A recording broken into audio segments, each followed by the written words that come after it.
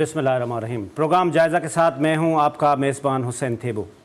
आज का प्रोग्राम हम ख़ास तौर पे बात करेंगे जब से एस आई एफ़ सी का वजूद आया है तो पाकिस्तान की इकानमी में खसूस बेहतरी आई है। इससे पहले अभी आर्मी चीफ सैयद आसिम मुनीर ने कराची विज़िट किया और कराची के लीडिंग बिजनेसमैन से उनकी मुलाकात हुई और हालिया हालिया भी हमने देखा कि वो कल आए और उन्होंने तकरीबन तमाम जितने भी कराची के और ख़ास तौर पर पाकिस्तान के जो लीडिंग बिजनेसमैन हैं, उनसे मुलाकात की और उनको एक किस्म की सपोर्ट और एक किस्म का उनको कॉन्फिडेंस बिल्डिंग के लिए बूस्टिंग की गई कि वो आएँ बिज़नेस करें। पाकिस्तान एक बेहतरीन मुल्क है, यहाँ पे अवेन्यूज़ हैं।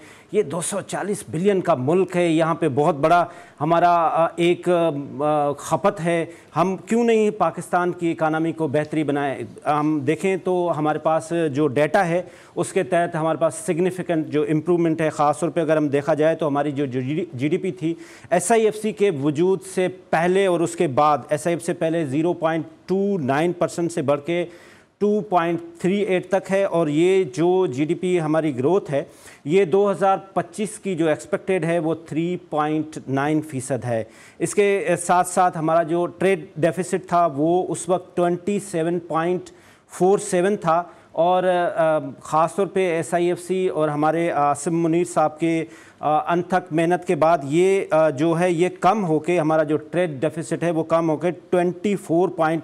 नाइन बिलियन पे है। इसके साथ साथ हमारा जो एक्सपोर्ट है, वो export twenty seven point seven billion था, जो बढ़ के जो हमारा फ़िज़िकल ईयर है, उसकी जो हमारी एक्सपेक्टेशन है, वो बढ़ के थर्टी पॉइंट सिक्स बिलियन तक पहुँच गया है। इसके साथ साथ हमारे मुल्क में, जो हमारा मुल्क है, वो सिक्सटी परसेंट वाबस्ता है, लोग हमारे एग्रीकल्चर से वाबस्ता हैं।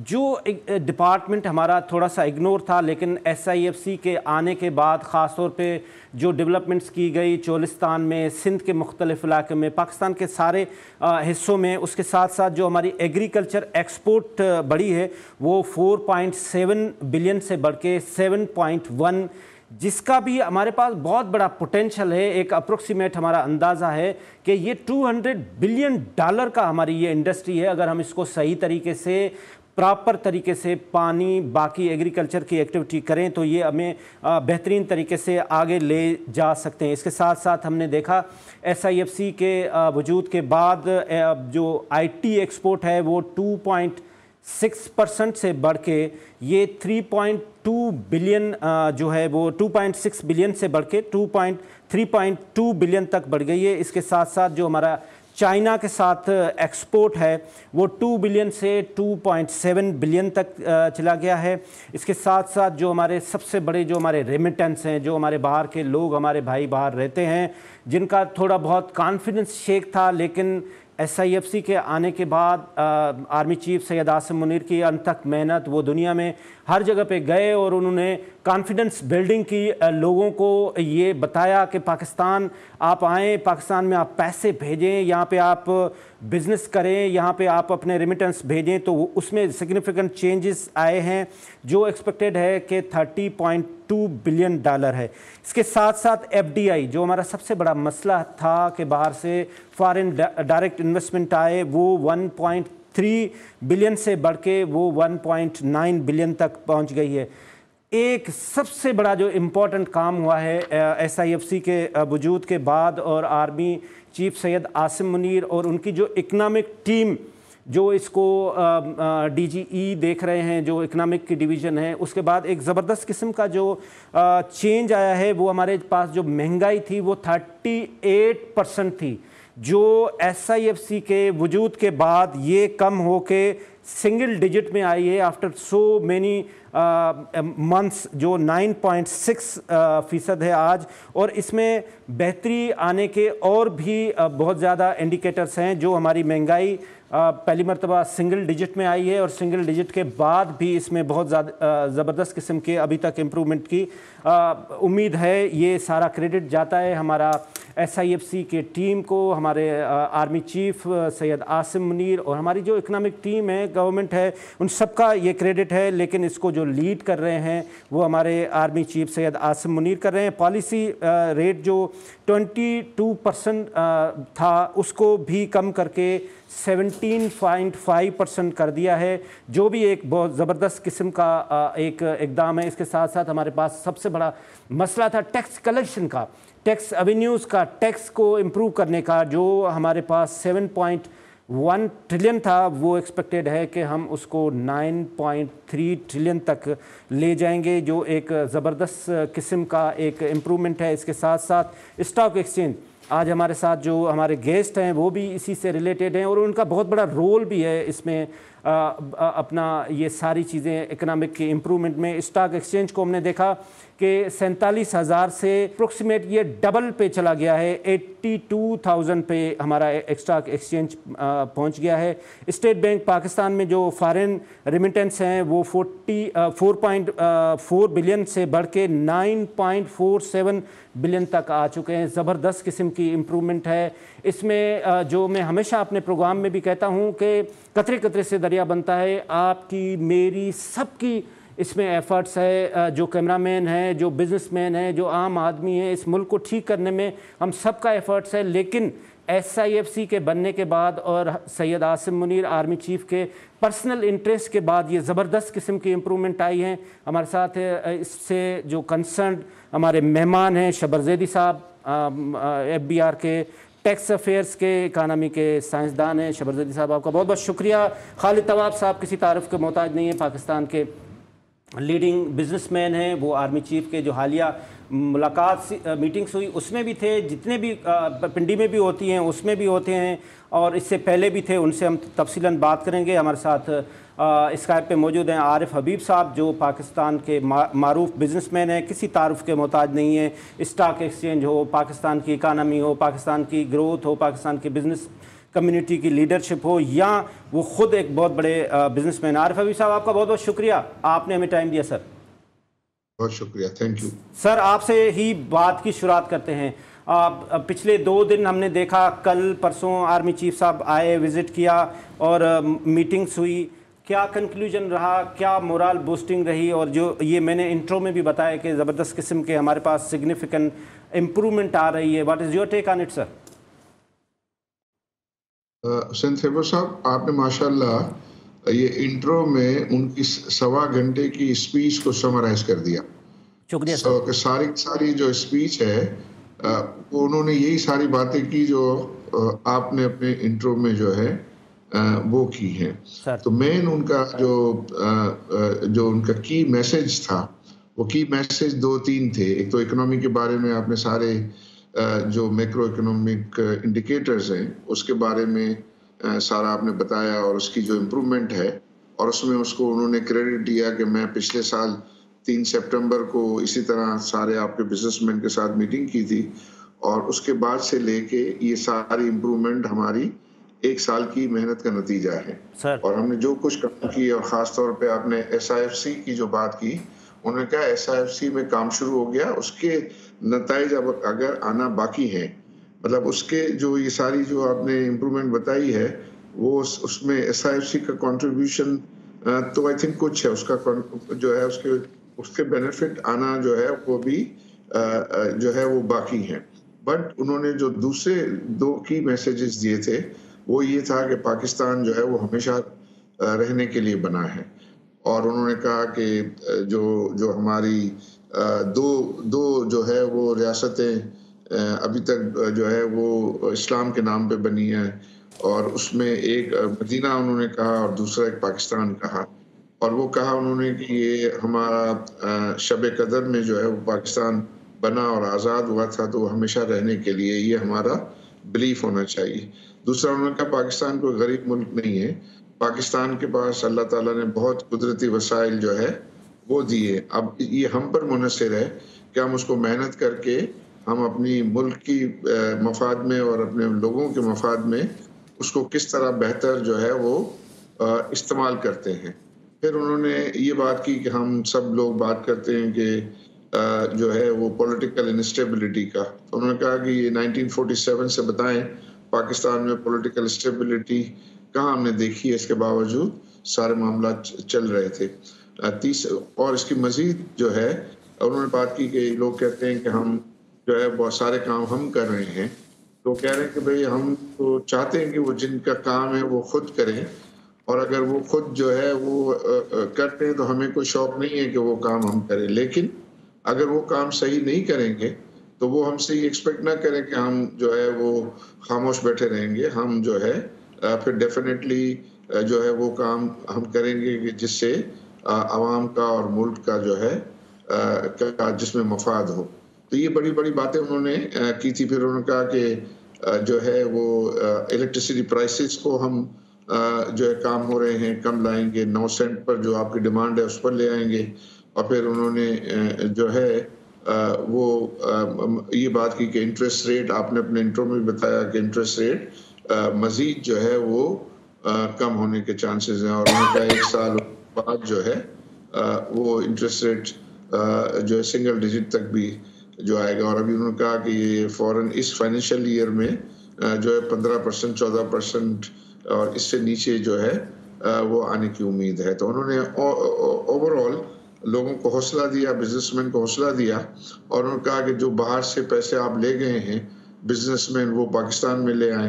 क्योंकि अगर लोकल इन्वेस्टर्स जो है वो अगर इन्वेस्टमेंट करेंगे तो ही फॉरेन इन्वेस्टर्स को जो है वो कॉन्फिडेंस आएगा वो फिर आपको जो है फॉलो करेंगे। एक और इम्पोर्टेंट बात है वो ये कि जो आईएमएफ का प्रोग्राम हुआ है वो आईएमएफ के प्रोग्राम के लिए उन्होंने कहा कि वो जो सेवन बिलियन डॉलर तो अपनी जगह पे लेकिन उससे ज़्यादा जो है उसमें दो और मजीद की मैसेजेस हैं। वो ये कि पाकिस्तान ने रिजॉल्व किया है कि वो अपना इकोनॉमी को जो है डिसिप्लिन के साथ चलाएँगे नंबर वन और नंबर टू जो है, वो उन्होंने कहा कि इस प्रोसेस में हमारे जो फ्रेंडली कंट्रीज़ हैं चाइना सऊदी अरब और यूएई वो पाकिस्तान के साथ जो है वो खड़े हैं। और ये उन्होंने ये इस किस्म का जो है, वो इंडिकेशन किया कि वो सैंतीस महीने में अपने डिपॉजिट्स का एक पैसा भी जो है विड्रॉ नहीं करेंगे। क्योंकि ये हर वक्त ये रहता है और मार्केट में इस किस्म की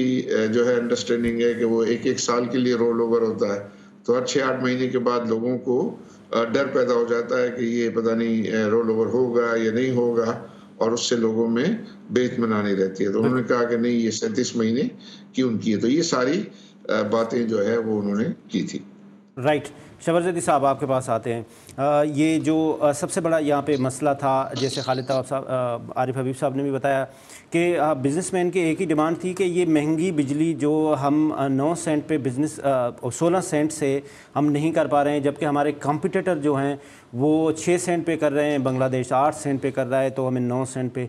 तो ये अच्छी इम्प्रूवमेंट है आप समझ रहे हैं और दूसरा जो फाइलर और नॉन फाइलर में भी जो टैक्स कलेक्शन में भी इम्प्रूवमेंट हुई जो आप हमेशा बात कर रहे होते हैं यू आर सेटिस्फाइड देखिए दो चीज़ें हमें अप्रिशिएट करनी चाहिए कि पाकिस्तान की जो मीशत में बेहतरी आ जाई है उसमें सबसे बड़ा फैक्टर सबसे बड़ा फैक्टर जो मैं समझता हूँ वो ये है कि हमारा एक्सचेंज रेट कंसिस्टेंट रहा है एक्सचेंज रेट स्टेबल रहा है। ठीक। और लोग जो एक्सपेक्ट कर रहे थे कि डॉलर साढ़े तीन सौ और तीन सौ पचहत्तर का हो जाएगा वो दो सौ अस्सी का रहा। इसको दो सौ अस्सी को रखने में हमें हमारा जो हमारा एक पर्टिकुलर इदारा है जिन्होंने एक्सचेंज कंपनी को मॉनिटरिंग में हेल्प किया गवर्नमेंट को उसका बहुत बड़ा रोल है। और मैं हमेशा से आपको याद है अपने प्रोग्राम में कहता रहता था कि एक्सचेंज कंपनीज़ को आपको एडमिनिस्ट्रेटिवली सेटल करना पड़ेगा हम्म। उनके तरीके को सही करना पड़ेगा। हम्म। तो ये मैं एक्सेप्ट करता हूँ कि जनरल आसिम मुनीर वगैरह साहब ने उनकी टीम ने एक्सचेंज रेट की स्टेबिलिटी दी पाकिस्तान को वो स्टेबिलिटी जो है वो कन्वर्ट हो रही है मुख्तलिफ़ फैक्टर में। ठीक। दूसरी चीज़ जो मैं समझता हूँ जो अब अभी जिसका रिज़ल्ट पूरी तरह नहीं आया मगर वो आने वाला है जिसकी जिसकी निशानदेही आरिफ हबीब साहब ने की है कि पाकिस्तान की जो आई पी पीस के साथ सेटलमेंट हो रही है जो गुफ्तु चल रही है जो उसका उसका जो कैपेसिटी चार्ज और उसका जो सेटलमेंट हो रहा है उसमें भी बहुत बड़ा रोल इदारे का है। और मैंने शायद एक और किसी प्रोग्राम में भी आपको कहा था कि मैं तकरीबन 20 परसेंट तक की रिडक्शन एक्सपेक्ट कर रहा हूँ और ये रिडक्शन वॉल्ट्री होगी। वॉलेंट्री का मतलब ये है कि वो लोग जो जिनकी जो आई हैं वो इसको कंसीड करेंगे कि हाँ ठीक है हम अपनी प्राइसेस कम करने जा रहे हैं और वो जो चीज़ें हैं वो सेटल होंगी। तो ये दो जो चीज़ें हैं जिन्होंने पाकिस्तान की मीशत के अंदर जो बहुत बड़ा आप समझें एक ब्लॉकेट था या समझें कि एक बहुत बड़ा अ, रुकावट थी वो चीज़ें सही हुई हैं। और ये इसमें हमें ये बात माननी पड़ेगी इस दोनों चीज़ों में एक बहुत बड़ा रोल इदारे का और उसके सरबरा का है। जो सबसे इम्पोर्टेंट बात है जो मैं समझता हूँ जो बहुत ज़रूरी है जो परसों भी अ, मीटिंग के अंदर भी है कि हमें सबसे ज़्यादा जो चीज़ की ज़रूरत है वो ये है कि हमारे यंगस्टर्स हमारे बिजनेसमैन हमारी जनरेशन्स आने वाली जनरेशन के के अंदर पाकिस्तान के लिए होप को ज़िंदा रखा जाए उसको बाकी रखा जाए। उसके लिए दो चीज़ें ज़रूरी होती हैं। एक ज़रूरी ये होती है कि जो पाकिस्तान के फैसले करने वाले हैं उनकी प्रायोरिटी क्या है? ठीक। जो चीज़ आप उसको किसी भी पैमाने में ले लें ये कम अज़ कम अब डिमॉन्स्ट्रेट हो रहा है कि जो फैसले करने वाले हैं उनकी प्रायोरिटी इस वक्त जोग्राफिकल सिक्योरिटी से ज़्यादा इकोनॉमिक सिक्योरिटी है। अगर उन्होंने ये चीज़ अप्रिशिएट कर ली है और वो अप्रिशिएट कर रहे हैं जो उनके एक्शन से नज़र आ रहा है कि economic security of Pakistan is more important and is as relevant as the geographical security of Pakistan और उसके लिए वो बाकी इंस्टीट्यूशन के साथ काम कर रहे हैं। तो ये एक बहुत ज़रूरी चीज़ है क्योंकि हम पचहत्तर सालों में बहुत जगह पर अपनी पॉलिटिकल और सिक्योरिटी कंसर्न की वजह से अपनी इकोनॉमिक प्रायोरिटीज़ पे लूज़ करते रहे हैं। तो जिसे कहते हैं ना कि पाकिस्तान में हम एक कोहिजन की तरफ़ आगे बढ़ रहे हैं जिस कोहिजन की में कम अज़ कम ये रियलाइजेशन बिल्कुल क्लियर है कि पाकिस्तान को हमें आगे लेके चलना है तो हमारे हमारी जो फ़र्स्ट प्रायोरिटी है वो इकोनॉमिक सिक्योरिटी पहले तो इकोनॉमिक सिक्योरिटी होगी और इकोनॉमिक सिक्योरिटी के बाद इकोनॉमिक डेवलपमेंट होगी। जो इकोनॉमिक डेवलपमेंट का स्टेज है वो अब अब इसके बाद आएगा। तो ये जो ये जो पूरा एक पैराडाइम शिफ्ट है उस पैराडाइम शिफ्ट ने एक चीज़ जो आप सारी आपने अभी अपने कुछ अपने जो दी है सब चीज़ें आपको दी हैं ये सारी। ये इस सब चीज़ ने डिमॉन्स्ट्रेट किया है कि 2023-24 सितंबर में हम जब बैठे हुए थे तो 2023 सितंबर में जब हम बैठे हुए थे तो 2024 सितंबर में जब आज हम बैठे हुए हैं इरिस्पेक्टिव मैं किसी भी पार्टी से बिलोंग करता हूँ, मेरा कोई भी सोच हो, मैं किसी किसी जगह पर बैठा हूँ, मैं ये एक्सेप्ट करना पड़ेगा मुझे कि 2024 सितंबर पाकिस्तान की माशी हालात 2023 सितंबर से सब्सटेंशियली बेहतर बेहतरीन बात। और इसमें ये ये सबसे अच्छी बात। इसमें जो सबसे आखिरी बात मैं कहना चाहता हूँ और दो वो बहुत ज़्यादा रेलिवेंट नहीं है मगर जो आईएमएफ का चीफ है पाकिस्तान में जी सर। उसने एक आर्टिकल लिखा है शायद आपकी नज़र से पता नहीं हम्म। जी, जी, जी, उसने भी यही कंक्लूजन किया है जो मैं कंक्लूजन कर रहा हूँ कि जो आप एक बुनियादी एक हर्डल को क्रॉस कर गए हैं। हम्म, ठीक है? अब आपके पास चॉइस है कि आप उस हर्डल को क्रॉस कर कर आगे तरक्की कर लें तो वो आपको लोकल स्ट्रक्चरल इंडिजिनस रिफॉर्म एजेंडे पे काम करना है। वो आपके अगले सवालों में जवाब दूँगा फिर ठीक। खालिद तवाब साहब आप हो गए आरिफ हबीब साहब हो गए वो वो बिजनेसमैन हैं जो फर्म बिलीव था और आप स्टैंड करके खड़े रहे और आपने कभी भी वो कॉन्फिडेंस शेक नहीं किया। बाकी बिजनेसमैन कुछ से हमने ये भी सुना, कुछ ट्रैवल भी कर गए, कुछ दुबई की तरफ़ भी सोचने लगे। लेकिन आप जैसे बिजनेसमैन खालिद आरिफ हबीब साहब जैसे बिजनेसमैन वो फर्म बिलीव रहे कि नहीं, पाकिस्तान में आपसे प्रोग्राम में भी बात करता रहा। आपने कहा था पाकिस्तान एक दिन जो है वो बूम करेगा और हमने देखा कि ये सिग्निफिकेंट जो हमारे पास इम्प्रूवमेंट्स भी आए हैं। आप भी आर्मी चीफ साहब के तमाम मीटिंग्स में भी थे। यू आर सेटिस्फाइड रही देखिए आर्मी चीफ साहब ने इससे पहले एक मीटिंग हमारे साथ करी थी वो थी लास्ट ईयर सितंबर में। सर। और उन्होंने इस सारी चीज़ों की तो जो हैं वो बताई थी कि ये बेहतर है। ये उस वक्त की बात है जब काफ़ी लोग डिमोलराइज थे और बहुत सारे लोग ये कहते थे कि जी पाकिस्तान से सरमाया ले जाओ। कुछ लोग ले भी गए लेकिन मेजॉरिटी 80 90 परसेंट लोग लेकिन नहीं गए। तो कल जो आर्मी साहब की चीफ थी की मीटिंग थी बेसिकली इसमें दो तीन चीज़ें थी। एक तो सबसे पहले मॉरल बूस्टिंग राइट कि आपने तेईस और चौबीस का फ़र्क जो आपने अभी बताया अपने इंट्रो में। ये सारा फ़र्क उन्होंने ये बताया कि ये ये ये फ़र्क जो है वो आ चुके हैं। और अब हम एक सिंफ में जा रहे हैं। अभी शबर जैदी साहब ने ये कहा कि इकनॉमिक स्टेबिलिटी और सिक्योरिटी दो चीज़ें हैं। जी। तो एक चीज़ साहब ने पब्लिक से सवाल किया वहाँ जो लोग बैठे हुए थे कि आपका क्या ख्याल है? इकनॉमिक स्टेबिलिटी ज़्यादा ज़रूरी है सिक्योरिटी कुछ लोगों ने सिक्योरिटी कहा कुछ लोगों ने उन्होंने कहा नहीं इकनॉमिक सिक्योरिटी जो है that is the prime subject अगर आपके पास इकनॉमिक आपकी अच्छी होगी इकनॉमिक सिक्योरिटी अच्छी होगी तो आप सिक्योरिटी ले भी सकते हैं कहीं से भी। लेकिन अगर आपकी इकनॉमी ख़राब हो गई तो आपकी सिक्योरिटी जो बनी होगी that was the clear vision of the chief साहब। सेकेंडली IPPs का जो सबसे बड़ा इशू है he has assured us the business community that will be resolved in a very short time. तो वो डेट इज़ देयर इसके अलावा जो एक बेसिक पैगाम उन्होंने दिया जिस तरह साहब ने कहा उन्होंने कहा जी जो लोग बाहर पैसे ले गए दिस इज़ राइट टाइम आप लोग पैसे यहाँ लेकर के आए। और यहाँ मुल्क के अंदर इन्वेस्टमेंट करें। बल्कि वहाँ कुछ लोगों ने ये भी फिर क्वेश्चन उठा दिया कि जी अ, हम ये पैसे वहाँ जो लोग गए हैं वो वापस ले आते हैं। वो वापस लाने का तरीक़ेकार क्या होगा? किस तरह होगा? बिल्कुल तो वो फिर एक डिबेटेबल इशू ये मैं फिर एक छोटा सा ब्रेक लेता हूँ। ब्रेक से बाद आके ये इस पर हम तफसीलन बात करते हैं और ब्रेक के बाद आ हम आरिफ हबीब साहब से भी बात करते हैं कि ये जो आई पी की बात हो रही है पहले भी हमने इसी टॉपिक पे आरिफ हबीब साहब से बात भी की थी कि इसमें जो 50 परसेंट आई हैं वो तो गवर्नमेंट ओन्ड है ना। तो उसकी कैपेसिटी चार्जेस अभी तक हमसे क्यों लिए जा रहे हैं? उसको फौरी ख़त्म किया जाए? क्या इस पर बात हुई? एक छोटा सा कमर्शियल ब्रेक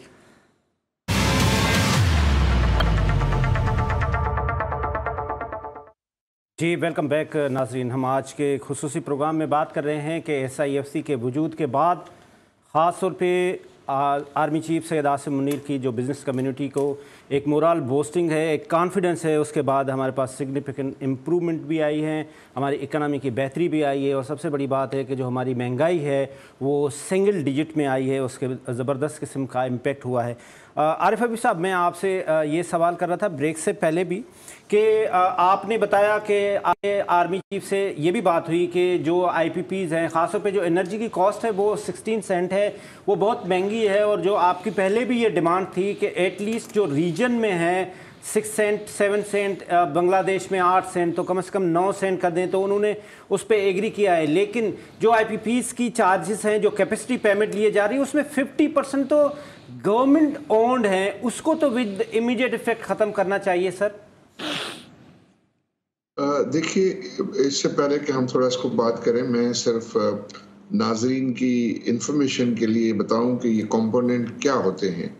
यानी हमारा जो टैरिफ है उसका कंपोनेंट जो है वो क्या है? इस वक्त जो है वो टोटल जो चार्जेस हैं एनर्जी के वो हैं पैंतीस रुपए। और पैंतीस रुपए का जो कंपोनेंट है जिसमें ग्यारह रुपए जो है वो फ्यूल चार्जेस है। कि हम उसमें जो ईंधन इस्तेमाल करते हैं उसका ग्यारह रुपए जाता है। साढ़े चार रुपए जो है वो ट्रांसमिशन कॉस्ट है। और डेढ़ रुपया जो है वो अदर मिसलेनियस कॉस्ट है।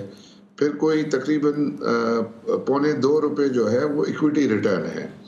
और कोई साढ़े चार रुपए जो है वो लॉन्ग टर्म लोन जो होती है उसकी उसकी पेमेंट है। डेढ़ रुपया जो है वर्किंग कैपिटल है फिर O N O M O है लोकल एंड फॉरेन इंश्योरेंस है ये सारे कंपोनेंट बन के अ, कोई अठारह रुपये बनते हैं।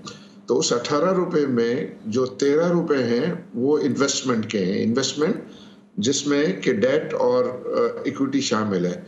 तो डेट का जो है वो इक्विटी का रिटर्न जो है वो कोई पौने दो रुपए है और बाकी जो है वो सवा ग्यारह ग्यारह रुपए जो लोन्स इसके ऊपर लिए जाते हैं क्योंकि आपको पता है कि तमाम जो प्रोजेक्ट्स हैं वो 80 20 या 75 25 यानी पिछहत्तर से अस्सी फ़ीसद लोन लिया जाता है और बीस से पच्चीस परसेंट जो है वो इक्विटी फाइनेंस होता है। तो जो उसके ऑनर्स हैं, उनका जो होता है वो करीबन पौने दो रुपए साढ़े पैंतीस रुपए में से पौने दो रुपए उनके जो मालिकान है जो शेयर होल्डर्स हैं उनको वो पैसे जाते हैं। अब ये इनके इनके खिलाफ जो एलिगेशन है वो एलिगेशन ये है कि जो इक्विटी है वो लोगों ने ओवर इन्वेस्टिंग की है और उसमें इक्विटी अपनी डाली नहीं है। तो इसका मतलब ये है कि वो अगर ज़ीरो भी कर दें उनकी इक्विटी तो जो है वो पौने दो रुपए का उसका फ़र्क आएगा। तो उस पे उस पे जो है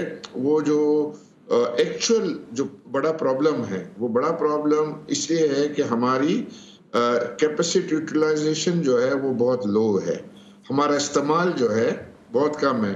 चवालीस हज़ार मेगावाट हम टोटल हमारी कैपेसिटी है, जो इंस्टॉल्ड है, उसमें तैतीस हज़ार जो है, वो काबिल इस्तेमाल है।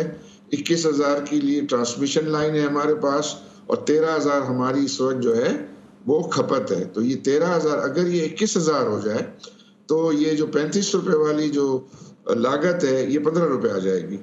तो सबसे बड़ा जो रिलीफ है वो रिलीफ वहाँ है कि आप इसकी कैपेसिटी इसकी यूटिलाइजेशन को बढ़ाएँ।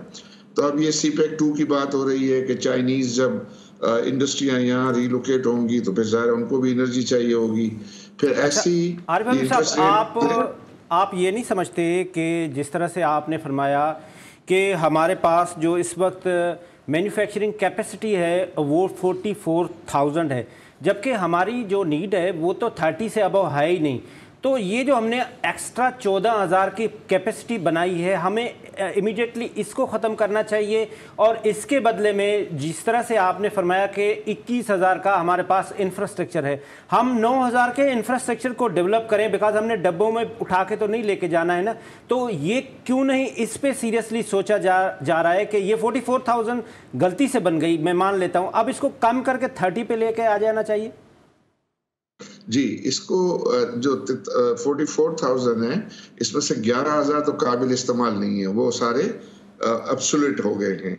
तैतीस हज़ार है कि जो चलने के काबिल है हम्म। और उसके लिए जो इक्कीस हज़ार है जिसके हम ट्रांसमिशन है तो इक्कीस हज़ार और तैतीस हज़ार का जो डिफरेंस है ट्रांसमिशन कॉस्ट अच्छा सर सॉरी मैं अगेन अगेन आपको यहाँ पे काट रहा हूँ। ये शबर जैदी साहब बैठे हुए ये मुझे बताते हैं कि ये जो ग्यारह हज़ार की कैपेसिटी है जो एब्सल्यूट हो चुकी है ये शेरशाह से पकड़ के कोई मशीन लगा दी है और उसकी कैपेसिटी इसकी कैपेसिटी चार्जेस लिए जा रही है। तो हाँ। क्या ये फैक्ट है?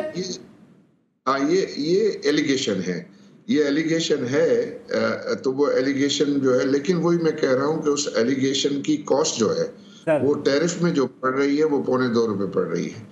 तो वो पौने दो रुपए बाकी चीज़ और अगर आप सारे का सारा ये लेके ये ज़ीरो था मशीन जो है उसको ज़ीरो में मिली और उसने आपको जो है पूरा हंड्रेड परसेंट चार्ज किया तो वो तेरह रुपए है उसकी। तो वो तो बहुत ऐसा नामुमकिन होता है कि पूरे का पूरा जो है वो कहे कि ज़ीरो का लाया और उसने पूरा लिया वो बीस परसेंट पच्चीस परसेंट ओवर इन्वेस्टिंग होती है। तो अगर तेरह रुपए में आप बीस पच्चीस परसेंट कर ले तो आई थिंक वो तीन साढ़े तीन रुपए ऐसे बनेंगे अगर उनको आपने पकड़ के प्रूव कर लिया कि वो शेरशाह से लाए और उन्होंने जो है वो ऐसा किया है। और पैसे नहीं लगाए तो उसकी जो सेविंग है और उनको आपको सबको जेलों में बंद करना पड़ेगा और वैसे भी किसी ने अगर इलीगल काम किया है हम्म। ये हम कहें या ना कहें इलीगल हम्म। काम की तो सजा होनी चाहिए उसमें हाँ। तो कोई मुजायका लेकिन सिर्फ़ जो एतराज़ होता है ये सबको ये नहीं कहना चाहिए कि चालीस फैमिलीज़ जो है उनको आप अंदर चालीस फैमिलीज़ में एक एक फैमिली। एक एक लाख लोगों को रोज़गार दे रही है। उनका सब ये तो बिज़नेस नहीं है। उनके और सारे और सारे एक आ, एक ग्रुप जो है हाँ, वो एक एक लाख लोगों को जो है वो दे रहा होता है। तो उसको बहुत ही सटल वे में करना पड़ेगा। सर आपका बहुत बहुत शुक्रिया। अभी हमें मुझे ब्रेक के लिए कहा जा रहा है। ब्रेक के बाद जब हम वापस आएँगे तो हम स्टूडियो के जो गेस्ट हैं उनसे इस पे जवाब लेंगे कि उनका क्या मौक़ है, ये जो कैपेसिटी चार्जेस और बाकी जो आई जिस तरह से आरिफ साहब ने भी फरमाया कि वो जो आप बार बार बात करते हैं कि 40 फैमिलीज़ भाई तो वो 40 फैमिलीज़ जो हैं, वो आपको सोर्स ऑफ़ इनकम भी हैं, वो आपको एम्प्लॉयमेंट अपॉर्चुनिटी भी उन्हीं 40 फैमिलीज़ ने दी हुई हैं और उनका मुल्क के ऊपर मैं समझता हूँ एहसान है, एहसान एहसान उन 40 फैमिलीज़ का जो हमें एम्प्लॉयमेंट अपॉर्चुनिटीज़ दे रही हैं। एक छोटा सा कमर्शियल ब्रेक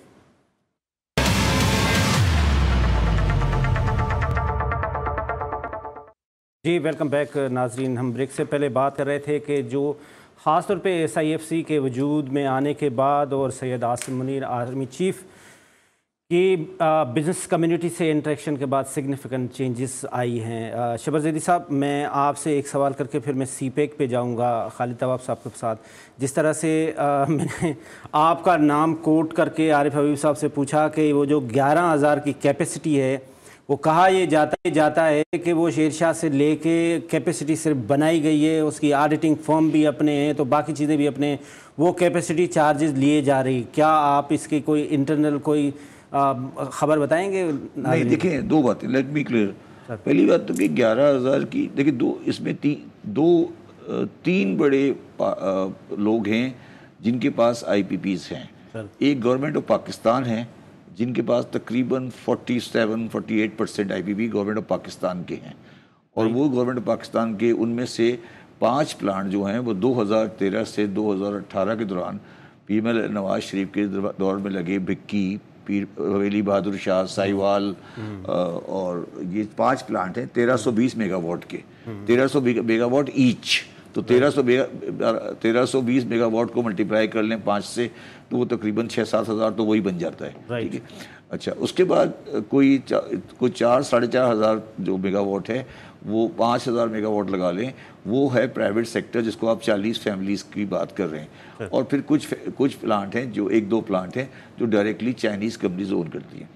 देखिए इसमें जो इसमें मैं एक एक चीज़ ऐड करता जाऊँ ये जो चालीस फैमिली चालीस फैमिलीज़ को हम बात करते हैं। सिर्फ़ पाँच हज़ार सात छः हज़ार इनका इस मुल्क के ऊपर एहसान नहीं है कि इतनी बड़ी मैं, मैं उसी पे आ रहा था। हाँ ठीक है? अच्छा अब ये जो तीनों कैटेगरी है तीनों चाहे वो चाइनीज़ का प्लांट हो चाहे वो गवर्नमेंट का प्लांट हो चाहे वो प्राइवेट पार्टीज़ का प्लांट हो शायद शायद ही कोई ऐसा प्लांट है जिसमें नॉन चाइनीज़ प्लांट लगा हुआ है। सब में चाइनीज़ प्लांट लगे हुए हैं। ठीक है और ये भी फैक्टर है कि इन सारे प्लांट्स में एक अच्छी खासी बड़ी तादाद में टेक्निकल फ़ी चार्ज की गई है ठीक है right. तीसरी बात यह है कि जो हमारा मैकेनिज़्म था जिस मैकेनिज़्म में हम ऑपरेट करते थे आ, करते हैं आईपीपी को हम्म। उसमें जितनी कॉस्ट ज़्यादा होगी इतना बेहतर होता है मतलब जितनी आपकी कॉस्ट ज़्यादा होगी इतने ज़्यादा पैसे रिकवर कर लेंगे। और तो ये जो मैकेनिज्म था वो ऐसा था कि लोग खुद ब खुद कॉस्ट ज़्यादा इनकर करते थे। तो ये जो ये जो एलिगेशन कह लें या ये जो कंटेंशन है कि ये ओवर स्टेटेड प्लांट्स हैं ये थ्योरेटिकली गलत नहीं है। ठीक। थ्योरेटिकली गलत नहीं है। अच्छा तीनों कैटेगरी में है। ये नहीं कह रहा मैं ये कैटेगरी के प्राइवेट सेक्टर में है।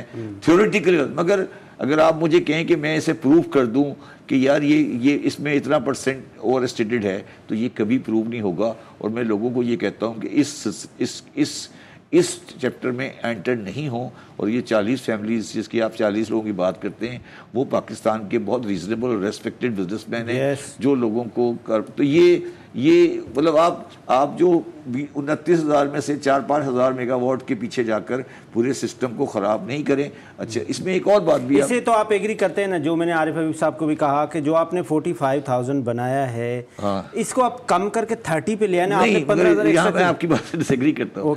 कम नहीं हो सकता इसलिए नहीं कम हो सकता कि उस पर कैपेसिटी चार्जेस तो देना ही देना है ना। बंद कर देना नहीं बंद नहीं कर सकते। स्टेट हाँ स्टेट ओन बंद कर सकते। स्टेट ओन को बंद कर सकते अच्छा उसमें जो प्रॉब्लम कुछ और है मैं कह रहा हूँ स्टेट ओन सारी बंद कर देना सुन लेना भाई स्टेट ओन हाँ। के अंदर प्रॉब्लम यह है कि स्टेट ओन का जो प्लांट आया है हम्म। उसके सामने कर्जा है कर्जा है ओके तो कर्जा कर्जा आपको तो पे पे ही करना है ना आपको। तो वो मतलब लॉजिकल आर्गुमेंट वो तो वो मतलब वो मैं खालिद तवा साहब के पास खालिद तवा साहब ये जो हमारा सीपेक है ये बीआरआई का एक छोटा सा बच्चा है वो तो आधी दुनिया में है लेकिन सीपेक के लिए हमारे मुल्क में भी बड़ी कंट्रोवर्सी उसका फ़र्स्ट फ़ेज़ जो हमने सुना कि उसका ट्वेंटी बिलियन डॉलर जो हमारे पास पैसे आ गए उसमें हमने इंफ्रास्ट्रक्चर डेवलप किया हमने एनर्जी डेवलप किया। आर्मी चीफ के मीटिंग में इस पर भी बात हुई कि हम जो सेकेंड फ़ेज़ में जा रहे हैं वहाँ पे क्या क्या करेंगे और क्या हम एस बनाने जा रहे हैं? देखिए आर्मी चीफ साहब ने इसमें बड़ा कैटेगरली ये बात बताई कि यहाँ पर प्रॉब्लम्स थे सी पैक के अंदर फ़ेज़ टू के अंदर ख़ास तौर पे क्योंकि बहुत सारे एलिगेशंस भी लगा दिए गए थे सी पैक की जो फाइनेंसिंग हुई और जिस तरह से इस्तेमाल हुआ। फिर उनका कहना था मैं इंक्लूडिंग प्राइम मिनिस्टर हम दोनों वहाँ गए चाइना और हमने हाईएस्ट डिग्री पे इवन प्रेसिडेंट चाइना से भी बातचीत करी और अलहमदिल्ला वी आर सक्सेसफुल कि जो अतमाद ख़राब हुआ था वो दोबारा बहाल हो गया है। वेरी गुड और they are going to face to in industry जैसे अभी आरिफ अभी साहब ने कहा अब हमें एनर्जी की ज़रूरत पड़ेगी वो डेट इज़ देयर लेकिन वो एक लदर सब्जेक्ट है सारा। लेकिन ये है कि अब चाइनीज़ आर कमिंग लेकिन आपने सी एफ़ सी पे एक बड़ा एस आई एफ़ सी पे बड़ा ज़ोर दिया है। मैं एक दो बातें आपसे करना चाहूँगा। S I F C is very successful कि उन्होंने एग्रीकल्चर पर तोज्जो दी और आई टी पर तोज्जो दी। अनफॉर्चुनेटली जो इंडस्ट्री की तरफ़ उनको तवज्जो देनी चाहिए थी आज वो इंडस्ट्री जो है वो अभी तक सर्वाइव नहीं कर पाई है। इस वक्त इंडस्ट्री का बहुत बुरा हाल है। हम जितने इंडस्ट्री ख़ास तौर पे textile is our backbone textile जो है वो इस वक्त यानी बिल्कुल मरने के करीब आ गई है। यू टॉक अबाउट स्पिनिंग ये वो और इसमें लाखों लोग जो हैं वो वो एनर्जी कास्ट की वजह से? एक एनर्जी कॉस्ट है दूसरा इंटरेस्ट रेट जिसको दोनों गवर्नमेंट रियलाइज़ भी कर रही है और चीफ साहब ने ये एश्योरेंस भी दिया है कल आर्मी चीफ ने कि इंटरेस्ट रेट तो कम वो भी कम हो रहा है और ये नौ सेंट भी ये भी आ जाएँगे। तो ये दोनों बड़े मेजर एलिमेंट हैं। देखिए अब हमारे लिए कुछ चैलेंजेस भी हैं मैं वो भी अगर आप चाहते हैं। देखिए राइस की हमारी एक्सपोर्ट जो है वो 2.5 से 4 बिलियन डॉलर पे चली गई है। उसकी बहुत बड़ी वजह ये थी कि इंडिया ने राइस की एक्सपोर्ट जो है वो बैंड की हुई थी। अब इंडिया ने दोबारा राइस की एक्सपोर्ट जो है खोल दी है। हमें अब एक स्ट्रगल करना होगा, हमें लड़ना होगा। हमें अपनी एग्रीकल्चर में भी हील बढ़ानी होगी और हमको अपनी क्वालिटी भी इम्प्रूव करनी होगी as far as rice is concern अब आप अगर कॉटन पे आ जाएँ तो कॉटन हमारी इस साल एक्सपेक्टेड है कि बहुत ज़्यादा ख़राब क्रॉप होगी, क्योंकि जो लास्ट ईयर जो लोगों के साथ प्रॉब्लम हुए फार्मर्स वगैरह के साथ तो गवर्नमेंट को चाहिए इसको एड्रेस करे। और हम, मैं आपको ये भी बता दूँ एक ऐसा था कि हम तेरह मिलियन बेल्स पे थे। आज एक्सपेक्ट कर रहे हैं छः साढ़े चार, पाँच मिलियन बेल्स पे हम आ जाएँगे। जो आज से पंद्रह साल पहले थे, हम वहाँ पर भी नहीं पहुँच पा रहे। हालाँकि हमारी हील चाइना हैज़ ऑफर्ड अस कि आप हील बढ़ाएँ, अपने लोगों को भेजें, हम ट्रेनिंग देते हैं। मैं समझता हूँ इन चीज़ों को ऑल दो S I F C is doing well हमारा आई टी सेक्टर बड़ा अच्छा चल रहा है लेकिन इंडस्ट्री में जो चीज़ें इनको लुफ्ट करनी चाहिए। देखिए मैं एक बात आपको और बताऊँ। आई एम एफ़ का जब हमें लोन मिला तो हम एक दूसरे को मुबारकबाद दे रहे हैं कि जी सेवन बिलियन डॉलर दे रहे हैं मुबारक हो सब। कौम एक दूसरे को मुबारकबाद दे रही है। ये मुबारकबादी की चीज़ नहीं है। हम लोन ले रहे हैं और हमें लोन वापस दे रहे हैं विद इंटरेस्ट हम्म, हम्म। और अगर ये 37 जिस तरह भी आरिफ अबीब ने कहा कि 37 मिलियन महीने का थर्टी सिक्स मंथ्स का टाइम है। कि जो हमारे पे और भी लोन्स हैं इसके अलावा, वो अभी ममालिक नहीं मांग मांग रहे। हमारे दोस्त मुल्क के हमें इस 37 में ये पॉलिसी दें कि इन 36 मंथ्स में हमें अपने पाँव पे किस तरह खड़ा होना है हमें इंडस्ट्रियल ग्रोथ किस तरह करनी है क्योंकि इंडस्ट्री चलेगी तो एम्प्लॉयमेंट चलेगी और मुल्क की पहिया चलेगा। जी डी बढ़ती चलेगी एक, एक मैं अभी ब्रेक से पहले मैं शबर जैदी साहब से भी बात कर रहा था कि ये जो रीजनल हमारे पास इंतहा पसंदी जो इसराइल की तरफ़ से भी हो रही है उसका भी बड़ा इम्पेक्ट है। इस वक्त हमारे साथ ईरान से अफजल रज़ा साहब मौजूद हैं जिससे जो ब्यूरो चीफ़ हैं Iran news agency Afzal Raza साहब आपका बहुत बहुत शुक्रिया आपने हमें टाइम दिया। जी बिस्मिल्लाह मैं भी आपका बहुत सर जी आपसे मैं ये सवाल रखूँगा कि इस इस वक्त ईरान की क्या स्ट्रेटजी है? बिकॉज़ जो कुछ भी ये हो रहा है इसराइल की तरफ़ से उसका डायरेक्टली या इनडायरेक्टली जो निशाना है वो तो ईरान है। वो चाहे सैयद हसन नसरुल्ला साहब की कल की शहादत हो या या इससे पहले जो उन्होंने ईरान में अंदर अटैक किया या जो ईरानी आर्मी के जो चीफ थे उनको आ, आ, आ, कुछ अरसा पहले शहीद किया इराक़ में। जो भी कुछ है वो अगेंस्ट ईरान हो रहा है। ईरान की इस वक्त क्या स्ट्रेटजी है? जी, देखें जैसा कि खत्े में रेजिस्टेंट फोर्सेस की जो अलायंस है, वो एक वन पॉइंट एजेंडा है। फ़लस्तीन की आज़ादी और इसराइल की जो कि उसकी जो गासिबाना इकदाम है, उसके सदबाब करना। लेकिन मैं सम, मैं नहीं समझता ये ये सिर्फ़ सिर्फ़ अब ईरान की ज़िम्मेदारी हो। सैद हसन रसुल्ला की शहादत के बाद अब ये सवाल उठता है वही हमारे जो इस्लामी ममालिक के ख़त्े में उनको अब आई डोंट थिंक सो कि हम uh, पहले यूनाइटेड नेशन के ऊपर देखते जाएँ जब ओ आई सी के हम देखें जो कि गैर फ़ाल एक इदारा बन गया है uh, सिवाय वर्बल और स्टेटमेंट के सिवा आप गज़ा की जो जंग है वो एक साल होने को है लेकिन अब तक कोई इफ़ेक्टिव इकदाम गज़ा को बचाने फ़लस्तियों के खातिर। अब आप देख रहे हैं कि नेतन्याहू अपनी हुकूमत की मुद्दत को तूल देने और इंटरनल मुश्किल से बचने के लिए गजा की जंग को पहले गजा तक महदूद रही, फिर वेस्ट बैंक तक गए, फिर राफा को बम्पिंग किया और अब पिछले दो हफ़्ते से लबनान की सरजमीन को बड़े ब्रुटली एयर स्ट्राइक का निशाना बनाया। अब ये सवाल हमें दूसरे ममालिक भी करना चाहिए कि क्यों हमें सिर्फ़ यही लगता है कि ईरान को भी आगे आना चाहिए। डेफिनेटली हिजबुल्ला ईरान के बड़े स्ट्रॉन्ग एलाई है और ईरान के सुप्रीम लीडर आयतुल्ला खामनी साहब और वज़ीर खारजा अराकची साहब ने गुजशत रोज़ अपने स्टेटमेंट में क्लियर कहा है कि इनको जिन्होंने ये ये जुर्म और ये जनायत सरजद की है, उनको तो जवाब मिलेगा। लेकिन क्या खत्े में देगर ममालिक की भी ज़िम्मेदारी नहीं? क्या अब ममालिक को नहीं चाहिए कि सिर्फ़ स्टेटमेंट के अलावा यहाँ से फ़लस्तीन की हिमायत भी करते जा रहे हैं? लेकिन वहाँ हम देख रहे हैं कि एम्बेसीज ओपन हैं ट्रेड रिलेशनशिप जारी है। यहाँ से फ़लस्तियों के लिए इमदाद भी भेजी जा रही है। लेकिन यूनाइटेड नेशन में और फोरम में इसराइल की इसराइल के साथ मामला ठंडा रखने के लिए रजा साहब आपका आपका बहुत बहुत शुक्रिया। हम आपसे इस पर तफसीला दोबारा भी बात करेंगे। इस वक्त हमारा टाइम हो रहा है। शबरजेदी साहब, आपका बहुत बहुत शुक्रिया। खालिद तवाब साहब, आपका बहुत बहुत शुक्रिया। इसके साथ आज का प्रोग्राम ख़त्म हुआ। हमारा आज का special program S I F C और आर्मी चीफ साहब की जो अनथक मेहनत है, लेकिन ज़रूरत इस बात की है कि हमें हर बंदे ने कंट्रीब्यूट करना है तो इस मुल्क ने तरक्की करना है। खुदा हाफ़ पाकिस्तान जिंदाबाद।